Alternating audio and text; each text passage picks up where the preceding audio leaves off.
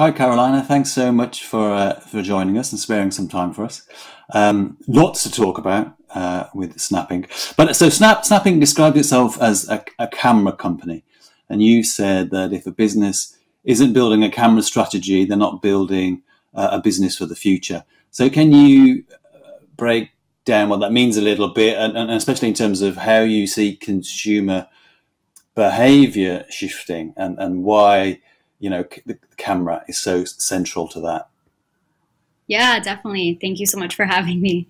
Um, snap we call ourselves a camera company and i think that you know the world's understanding and definition of the camera actually needs to shift. A lot of people still think of the camera as this you know device this piece of hardware to capture a moment uh, to capture an image or a video. But the camera is so much more than that and when we talk about why this is so necessary, you know, if you look at the past 30 years as an example of, you know, the need for businesses to adapt, you see it quite clearly. You look at the emergence of Web 2.0, you know, businesses that didn't adopt and adapt to web, creating an online presence, you know, didn't survive that shift the next shift of social media was also another incredibly important shift for businesses to try to understand and become a part of because that's where people were spending their time. The huge shift to mobile have, has obviously provided another critically important shift in consumer behavior that businesses had to adapt to. It's not that technology, you know, begets business change. It's that consumer behavior shifts as a result of technology advancements, that's what requires businesses to adapt. And there's actually another shift upon us, and that's the shift from going from just your mobile screen and your computer screen for how you interface with digital content to using the camera. The camera is a part of people's daily lives now in a way that it never was previously. And this is especially true for the Gen Z and the young millennial generation. And since Snapchat reaches 90% of the 13 to 24 year olds uh, in the UK, you know, this is something that we see at such a large scale. Billions of photos and videos are taken daily. 75% of these you know people are actually not just taking a photo they're interacting with augmented reality in the camera. And so this shift to using the camera every day this isn't something of the future. It's already there. It's already happening with gen z's and young millennials and that's only growing 75% are using it already on Snapchat every day, but it's expected that 75% of the world's population is engaging actively with AR regularly over the next four to five years. And so, as a business, you have to look at the facts. You have to look at where consumer behavior is shifting and adapt your business to meet people where they are. And that's what we mean by Snap is a camera company. We're not a picture taking company, company. We're a camera company, which can do so much more than take photos. It can understand what's in front of you, it can overlay computing over the physical world in front of you. And for a business, you know, they really have to start investing in the camera to future proof how they need to engage with these people. And more than that, it's not just about reach, it's also about impact. And that's what I think is exciting is we're seeing incredible ways that the camera and augmented reality is actually helping grow businesses in a very impactful fashion. And so, and Snap is is innovating at, at an incredible pace uh, on a lot of fronts, but especially on the retail um, and e-commerce side. And it's kind of hard to keep up, but we'll just try and outline some of those innovations. Uh, I mean, earlier this year, you launched Screenshop, uh, which I've seen described as a kind of Shazam for clothes. Um, you may hmm. disagree, but can you talk talk about a little bit about what Screenshop does? Yeah, I you know I think that's a it's a cool way to describe it as Shazam for for clothing, but you know when when we look at the experience for being inspired by what you like and what you want to shop there is sometimes a lot of friction in seeing what you like in real life and being able to go and find those items and the camera helps to solve that friction you know if you're just going to use text to try to search for an item that you saw black sweater good luck with finding a result that's actually going to be exactly what you wanted but the camera allows you to understand and visually search what's in front of you. And that's what Screenshop does on Snapchat. it provides this natural way for Snapchatters to point to their friends' outfits um, or even items that they're seeing in a store and find similar results to be able to shop those.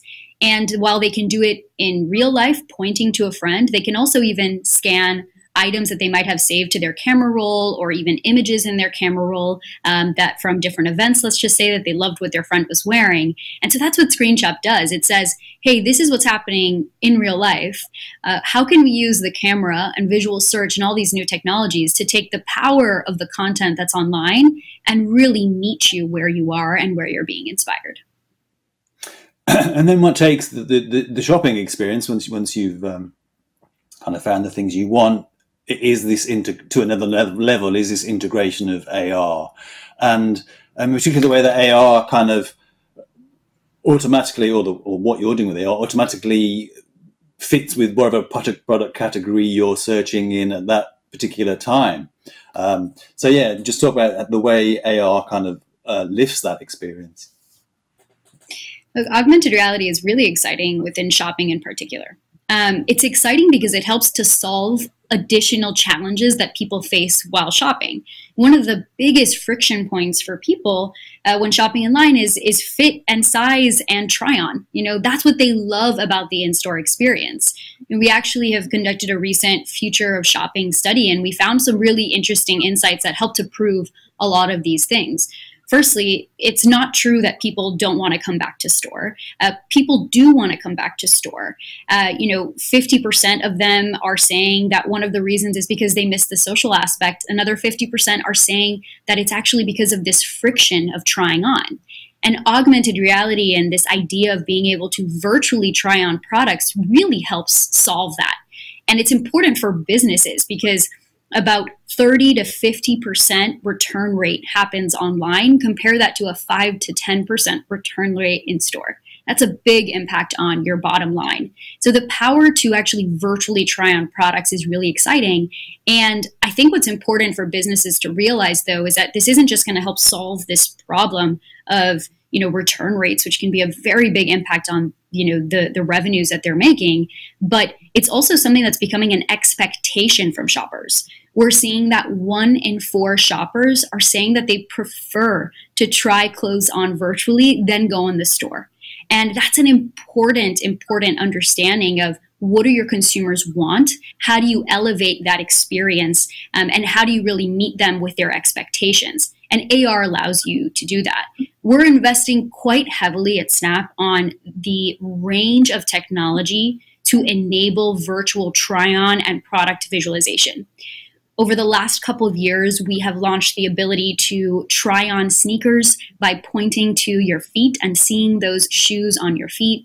We have recently launched the ability to actually point to your wrist to try on jewelry. You can try on eyewear. When you're trying on eyewear, it's actually detecting the size of the frames relative to the size of your face so that it's accurate. You can try on makeup. Uh, you can see bags in AR and 3D. You can explore cars. And we're also investing in apparel quite heavily, which is a very difficult category to crack.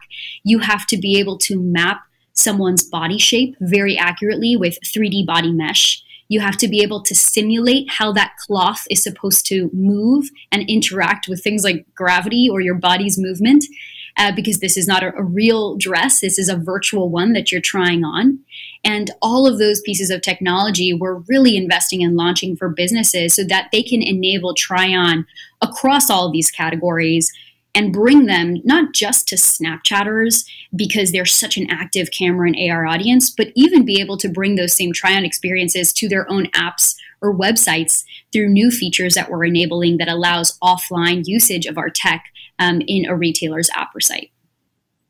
But um, but you can make that virtual try on experience social as well. I mean, you you friend it's an, an experience that can be shared with friends, and you know which which adds this whole other level of engagement.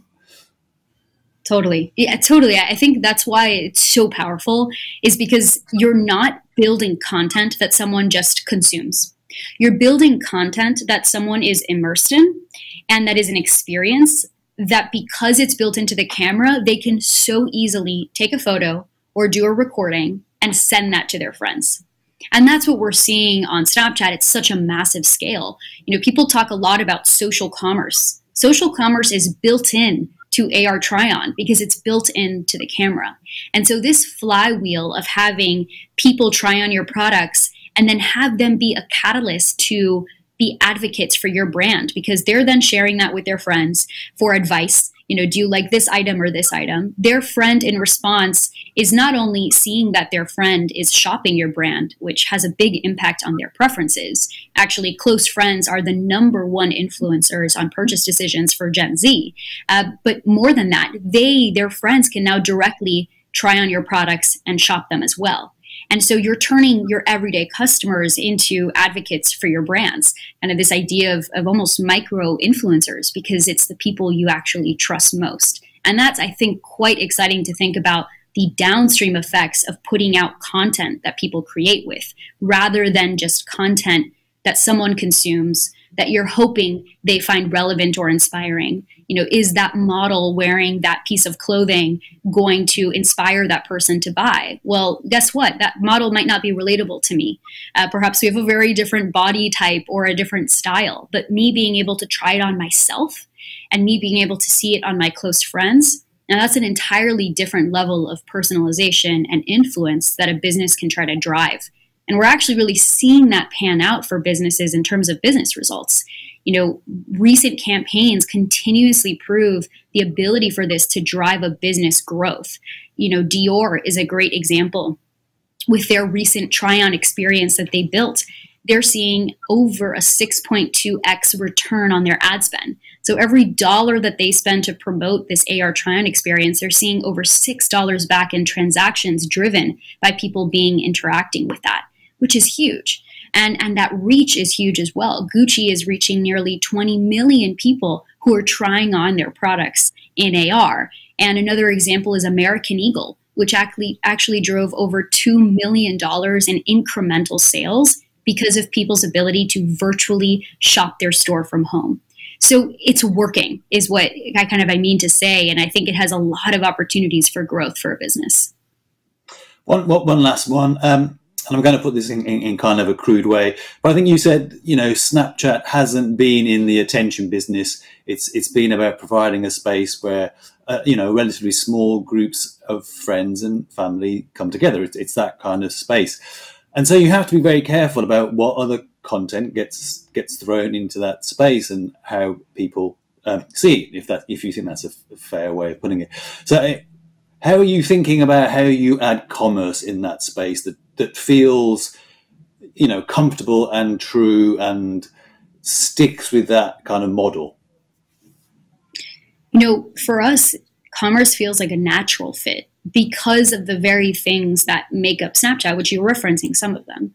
You know, one of the most important things about how we've built Snapchat is to create a very safe environment, one that you feel very natural in because you don't feel like you're being judged, uh, because you're talking to your close friends, uh, because you don't have things like, you know, likes on your kind of personal content. And that has provided an environment that means that you're opening Snapchat very regularly. You're engaging with this close group of friends that really cares about what you're doing. And to be able to bring commerce there makes a lot of sense. Why? Because the people who you're typically shopping with or asking for advice about shopping are your close friends.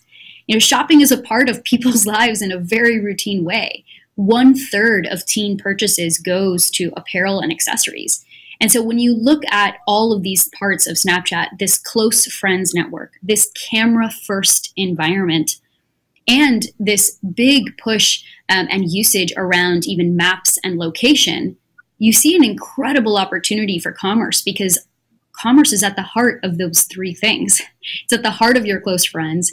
It has a huge opportunity within the camera because of what your style is or if you want to try something on. And of course, based on your location and you even being in the physical store, so much more can be unlocked. And so that's why we're really focused on commerce and why it feels such a natural fit into a lot of the kind of philosophies and important product decisions we've made overall on the application.